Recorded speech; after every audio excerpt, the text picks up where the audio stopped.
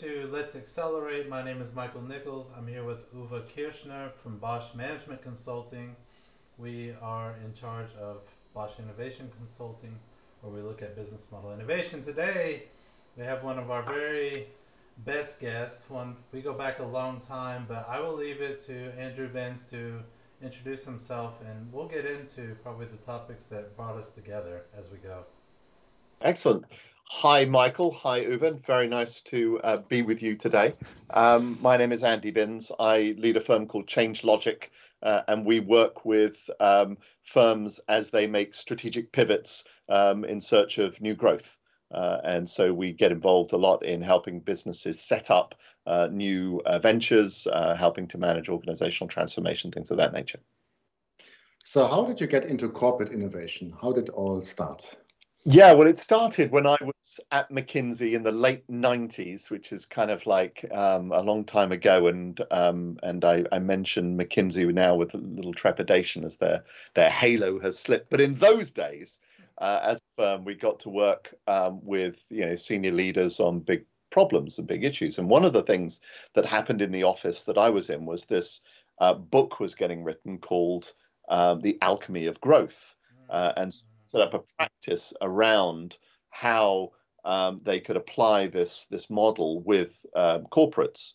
Uh, and there was uh, something called the McKinsey Growth Initiative, and I remember some of the colleagues who were involved in that.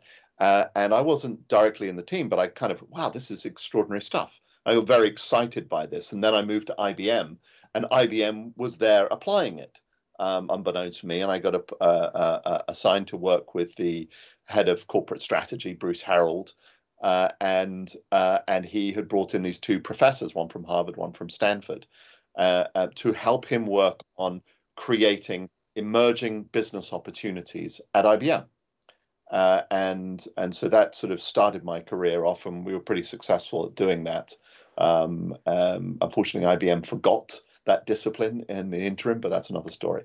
But that's how I got started on this. Um, was was that period uh, sort of 98, 99 through to 2002, three. Yeah. Summarize, I mean, alchemy probably died for, for good reason. So maybe if you could summarize what alchemy for growth was really all about.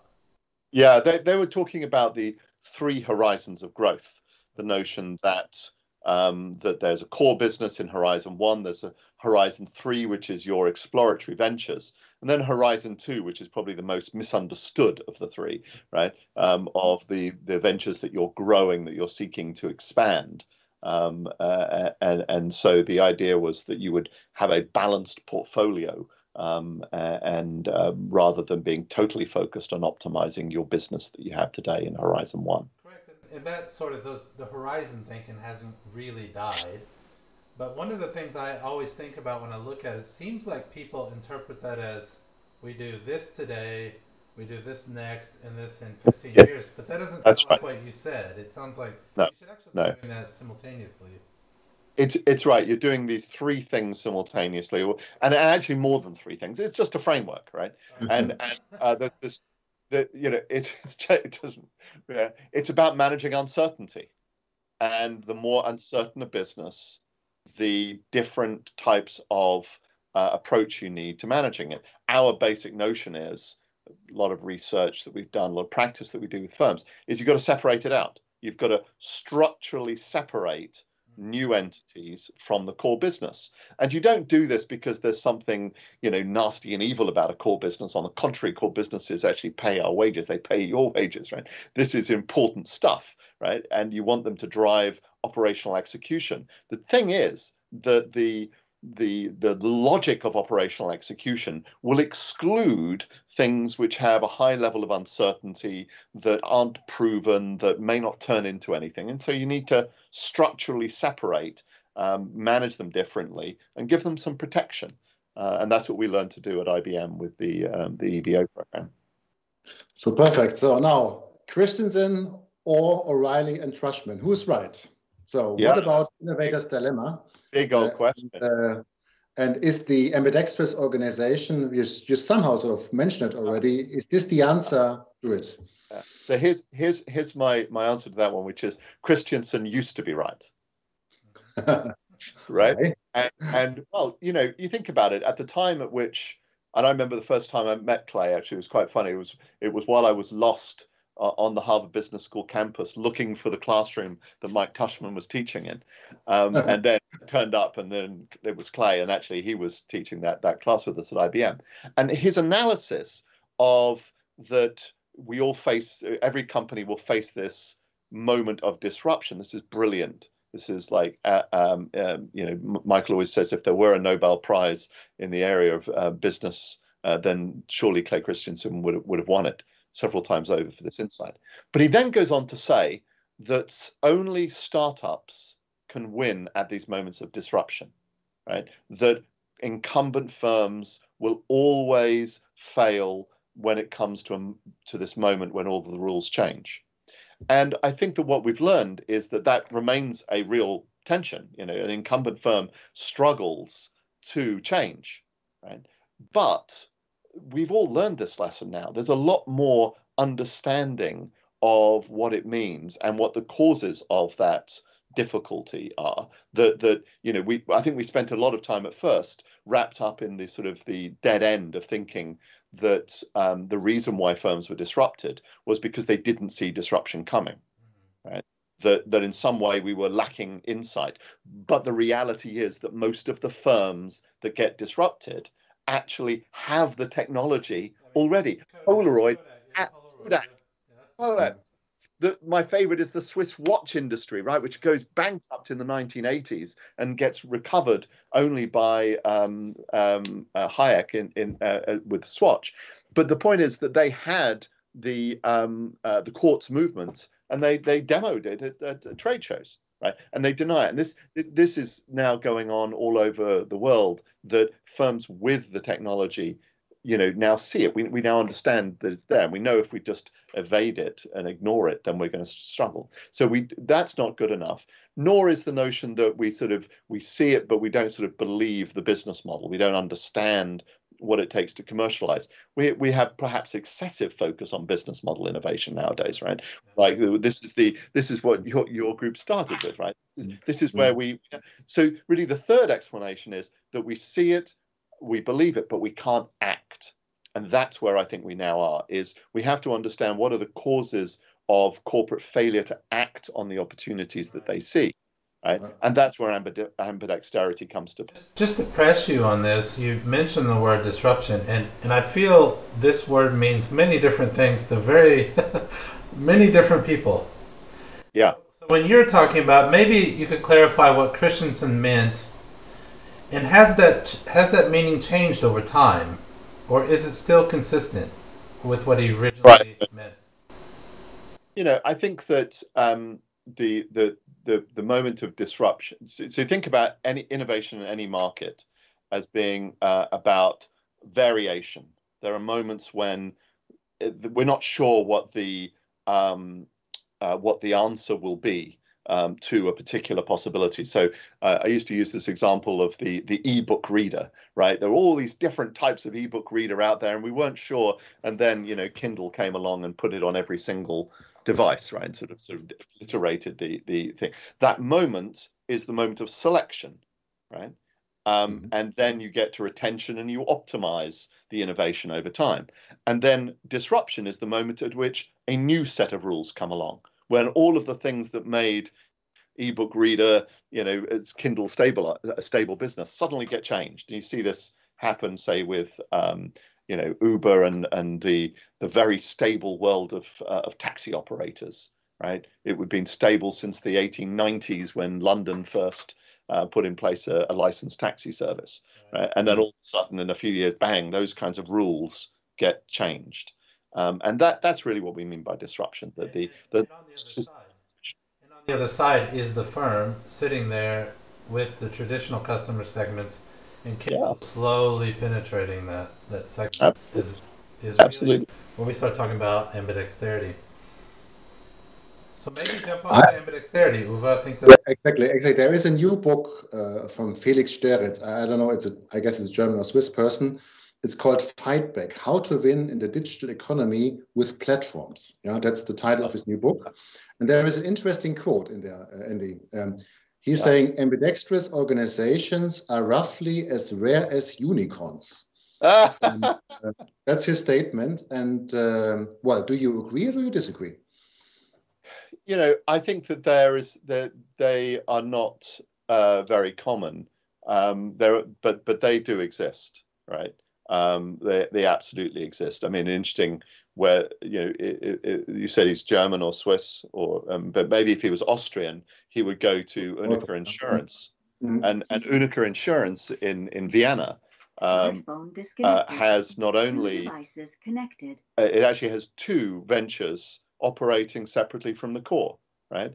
Properly incubated. One which is um, exploring new areas of uh, new models for insurance, uh, ShareRisk, um, and the other one is developing new business models in healthcare, Sanus X. And so this is this is and then this is just a you know it's, it's, an important company, but it's not a global brand name, right? But they they have applied that. If you go to um, uh, the German um, um, uh, engineering company SICK, they have um, a, an emerging business group that explores and commercializes new areas uh, of business. So um, I think, and you, most of the listeners probably never heard of either of those two companies, right? My mm-hmm. point is that actually there are many ambidextrous organizations out there, um, and they are being successful. What we what we find though is that it's hard, right? So many more get started than succeed. Right? Mm-hmm. And that's the, really the, the the the problem that, that I think we now face is that we've we've learned a lesson about disruption. We understand that it's about how you manage the capacity to act on uh, the opportunity that you have. We start various different um, initiatives, emerging businesses, accelerators, and so on.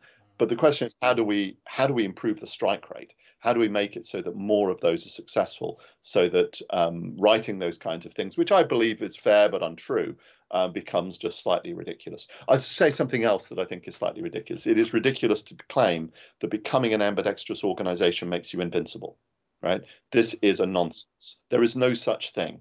The, the, the, it, the, to apply the word invincible, right, to any organization in a world of disruption is really strange for me because it misunderstands the whole point that this is a di- highly dynamic world in which your capacity to adapt is what enables you to succeed, not any notion of stability or invincibility. It doesn't exist. You should be mildly paranoid uh, as a business executive. You know, one of my clients says, um, "Pleased but never satisfied."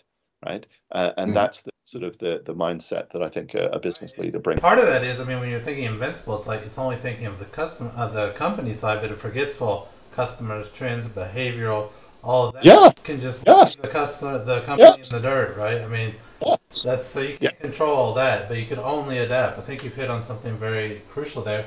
And another yes. thing I've I've noticed with ambidexterity, maybe you can comment on this, is people will say things like, you know, that sounds very great in theory. It's sort of this high academic notion.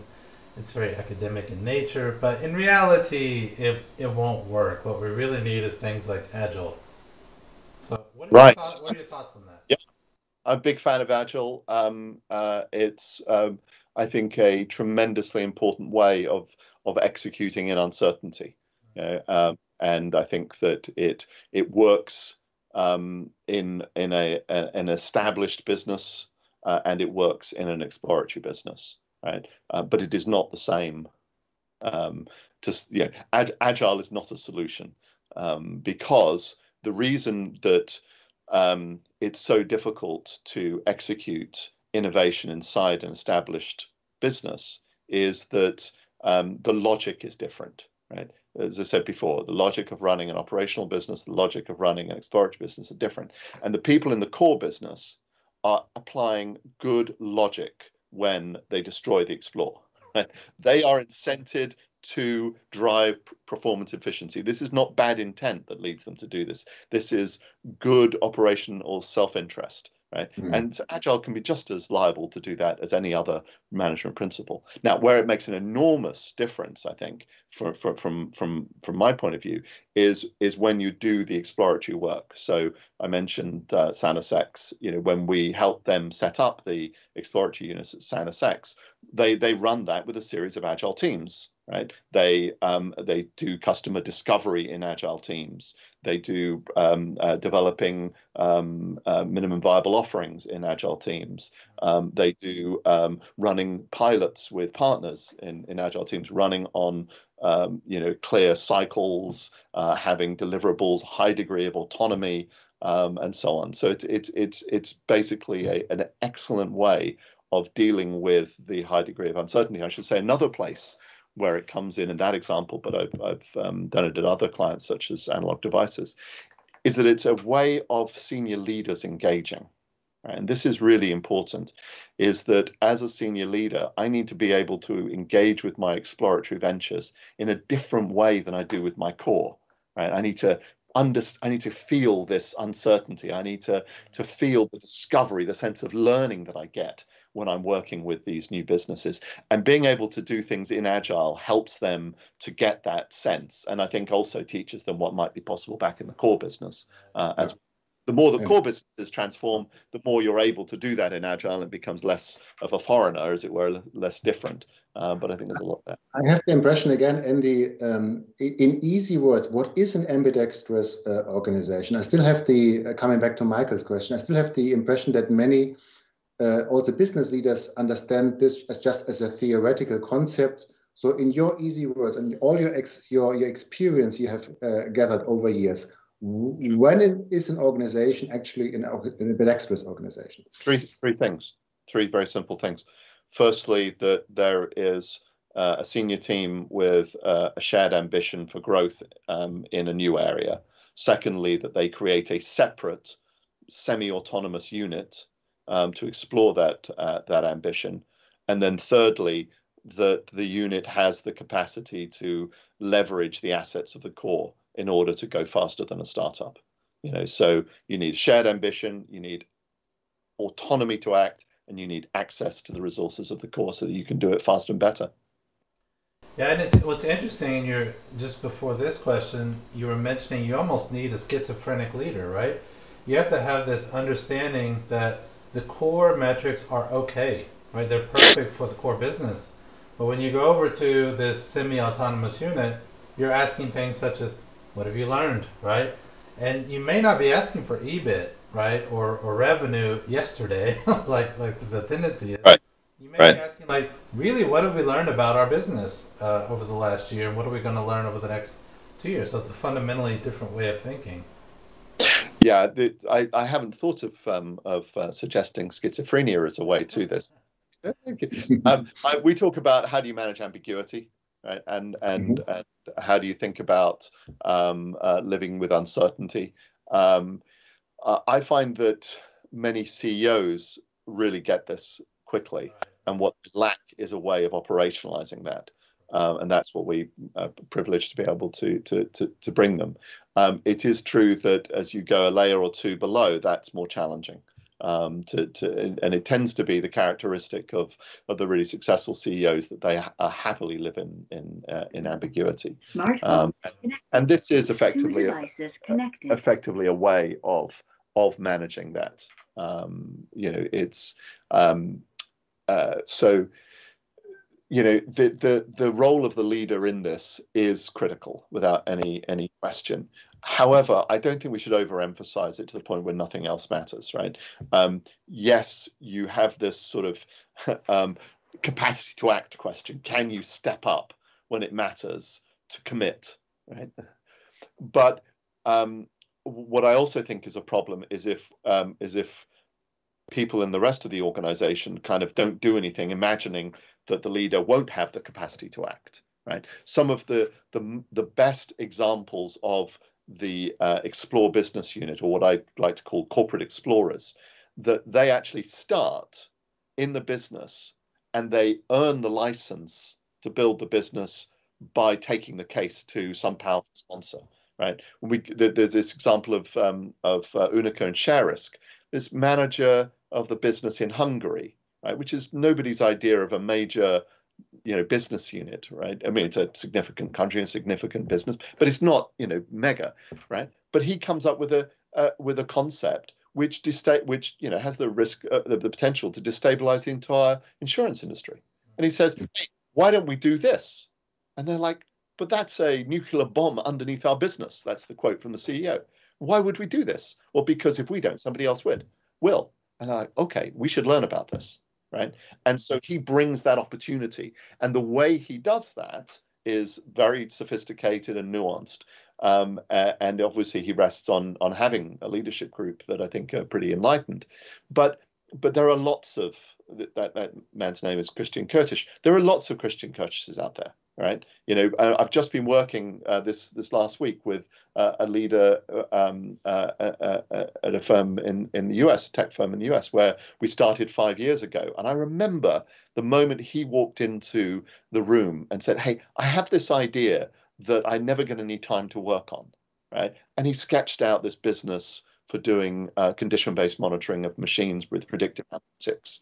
And now he has a business. That's his full-time job, right? And he that because he advocated for it with facts and with um, customer insight and with um, with the ability to validate uh, the opportunity. So you know, it, it it's it's it's yes, it's about leadership, but it's also about like leadership at the top, but it's also about leadership from these corporate explorers right? And and and the, so there are lots and lots of people out there who need the the sort of the methods, the equipment, and also a little bit of the courage to be able to articulate these cases to leaders who, by the way, are desperate to hear from them at some level. When I go into CEO, this is their problem. It's like I need my team to be able to do this.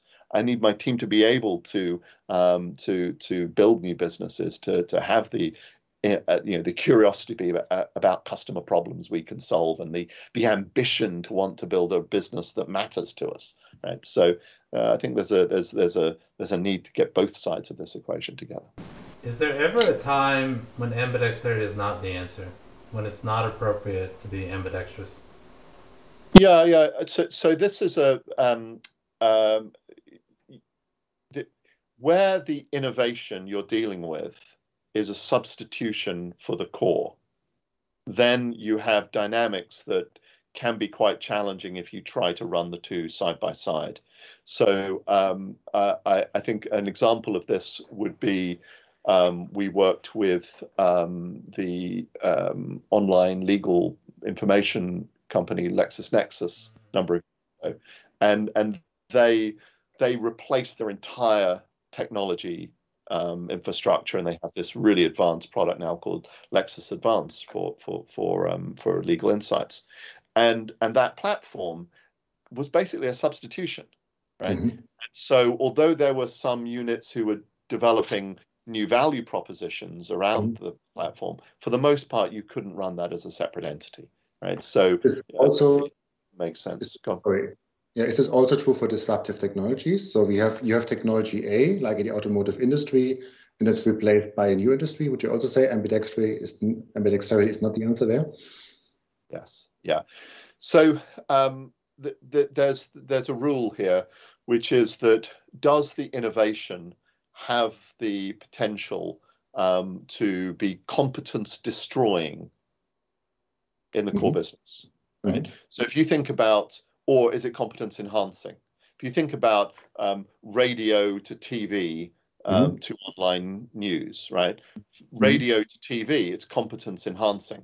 We can have radio stations and TV stations in the same company, totally different format, but same, but it works together. We go to online news and we just destabilize the advertising model so therefore the fundamental how they make money. We change the way that news is consumed who provides it. There's there's you know not only specialist journalists but you know anybody can can um, generate the news the people themselves yeah the the characters in the news like politicians i'm speaking from the us so we we we've experienced that uh, themselves can generate news by their own channel. So this is totally destabilized right? This does become competence destroying to existing news organizations. Right? And I think you've got to puzzle that out for automotive as well. So mm. to, to what degree is the uh, is the technology competence destroying? And does running, um, you know, having a history of running, you know, gasoline-powered, manually operated, owner-operated vehicles, is it threatened by, you know, um, a, a, a autonomous uh, electric rideshare? I mean, in some cases, yes, and in some cases, no. Right. Um, I guess so, something uh, car manufacturers have to have to sort out. looking at the time, we're already coming to the end uh, of our uh, podcast, and it's a tradition, uh, Andy, to finish off um, our podcast with a sentence completion exercise. So I'm going to oh, start. I hoping you to say a song. Um, you know. no, maybe. Yeah, as, as, we want to be innovative, innovative, and I think we are. Maybe this is something we shall do in the future. Well, let's stick to the exercise. So I start a sentence, and if you could finish off that one. Okay, let's give it a try. Future corporate senior leaders will be successful if uh, they see managing uncertainty and ambiguity as their core role. Excellent. The next company to master ambidexterity will be Bosch. When the pandemic is over, the first place I will visit will be uh, London. Thought you were going to come to Stuttgart and visit us. As an Good. Englishman, not in New York, but in the US, I, I totally understand this. yeah, yeah. yeah. That's a, that's the your way of saying no comment. yes, yeah you know, when the pandemic ends, there's going to be such opportunity in so many parts of the world. Uh, it's going to be a crazy time, I think. I predict a, there's such pent up demand. There's so much, dis, uh, you know, so destabilized. Uh, not only is there human suffering, but there's like economic dislocation. And I and I think we better hold our hats and and we will be very busy helping firms figure out how they can win in what will be an extremely uh, uh, um, you know unusual economic and social situation. And so i have no idea where i'll be because you know i'll go wherever my clients call. Thank you so much for your time today. It has been a pleasure having you, you on our podcast. Thanks a lot. Talk to you soon. Very much. Thank you for the invitation